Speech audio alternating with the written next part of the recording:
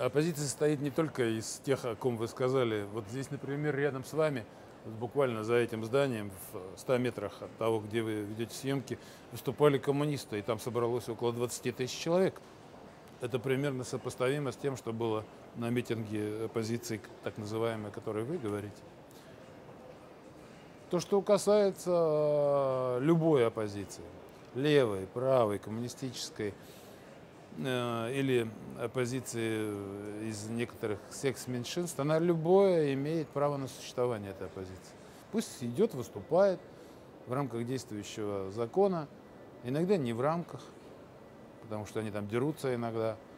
Даже депутатов лишают за это неприкосновенности. Вот, например, Бессонова лишили за то, что якобы он там кого-то тронул из полицейских. Поэтому, ну что ж, любая страна, даже самая тоталитарная страна, имеет свою оппозицию свои выступления, свои манифестации.